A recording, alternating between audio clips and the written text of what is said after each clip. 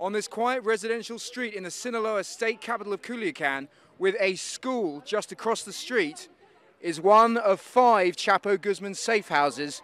We're going inside to take a look. Before even entering, cameras and reinforced steel doors reveal the priority of security. I think one of the first things that really hits you when you come in is just how modest and basic it is. You know, uh, a small little kitchen. Uh, some of the, uh, the bedrooms here are pretty dingy. The Marines tell us this was part of his strategy to have a very modest accommodation so that he could hide in plain sight. In almost every bedroom of the house, there are two TV screens, one for security and one for TV. But when you go into the bathroom, the picture of a normal house really does transform.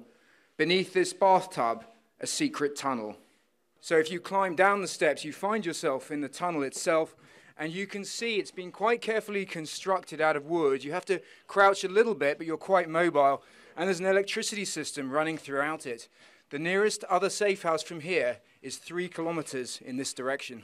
The constructed part of the tunnel ends here, and if you go through this door, you find yourself in the sewage system of Culiacan, an ideal escape route. And the tunnel system comes out right here in another safe house just down the road, and as you can see, it is a very similar setup to the previous one. In all the houses, evidence of life suddenly suspended. The minutiae is often interesting a child's slide, Christmas decorations, and a fondness for mayonnaise.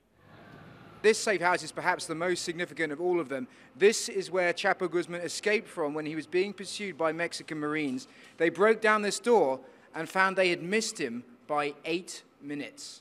And this is where he fled to through this bedroom and into this bathroom, where, as you can see, there is another escape hatch underneath this bathtub.